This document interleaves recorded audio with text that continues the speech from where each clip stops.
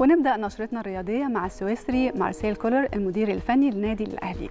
طلب واللي طلب من الجهاز الطبي بقيادة أحمد أبو عبلة تقرير عن مستجدات اللعيبة المصابة في الفريق قبل تطبيق نظام اليوم الكامل في التدريبات.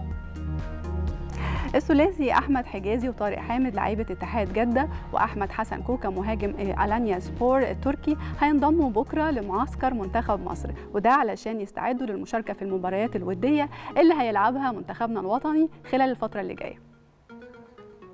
نادي بيراميدز أعلن عن رابع صفقاته خلال فترة الانتقالات الصيفية بإتمام التعاقد مع محمود عبد العاطي دونجا لاعب خط الوسط في الإسماعيلي السابق. ووقع دونجا على عقود انتقاله صفوف بيراميدز في صفقة انتقال حر وده لمدة موسمين. بعقد هيمتد مع النادي لحد 2024 فاز فريق كرة اليد بنادي الزمالك على الترجي التونسي بنتيجة 34 28 وده في أول مواجهة في البطولة العربية اللي بتستضيفها تونس خلال الفترة من 17 ولحد 27 سبتمبر. والمفروض النهاردة فريق الزمالك هيواجه فريق الكويت الكويتي. منتخب مصر للشباب مواليد 2003 هيلعب مع المنتخب الكويتي مباراة ودية يوم 25 سبتمبر على استاد حرس الحدود في اسكندرية وده في إطار الاستعدادات النهائية لبطولة إفريقيا للشباب واللي هتستضيفها مصر في شهر فبراير اللي جاي. نروح لنتائج الدوريات العالمية وخلونا نبتدي بالدوري الإنجليزي.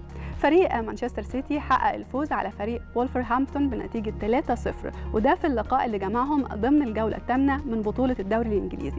وبكده السيتي في صدارة جدول ترتيب الدوري برصيد 17 نقطة وتجمد رصيد وولفرهامبتون عند النقطة 6 في المركز ال 16 وتوتنهام حقق نتيجة كبيرة وفاز على فريق ليستر سيتي بنتيجة 6-2 في المباراة القوية اللي جمعت بين الفريقين على ملعب توتنهام ضمن الجولة الثامنة من الدوري الإنجليزي. ورفع كده توتنهام رصيده للنقطة 17 في وصافة جدول ترتيب الدوري الإنجليزي بالتساوي مع مانشستر سيتي صاحب الصدارة بفرق الأهداف. وتجمد رصيد الليستر عند نقطة واحدة في المركز الأخير. من الدوري الإنجليزي خلونا نروح للدوري الألماني. وحقق بروسيا دورتموند فوز غالي على فريق شالكة بنتيجة 1-0 وده في اللقاء اللي اتلعب بين الفريقين ضمن منافسات الجولة السابعة من الدوري الألماني. وبكده أصبح دورتموند في في صدارة جدول الترتيب برصيد 15 نقطة.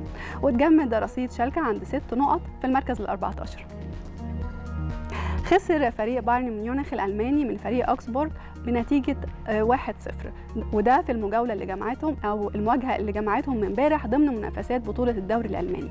وبكده يبقى تراجع بايرن ميونخ للمركز الرابع في جدول الترتيب برصيد 12 نقطة. وارتقى أوكسبورغ للمركز ال11 برصيد 6 نقط. في الدوري الإسباني فاز فريق برشلونة على فريق الشي بنتيجة 3-0 في المباراة اللي جمعتهم ضمن منافسات الجولة السادسه في مسابقة الدوري الإسباني.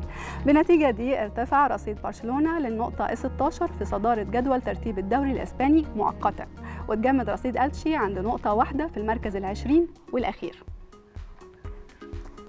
كده خلصت أخبارنا الرياضية وعودة لاستكمال باقي فقرات صباح الخير يا مصر مع أحمد وبسام. شكرا لميس.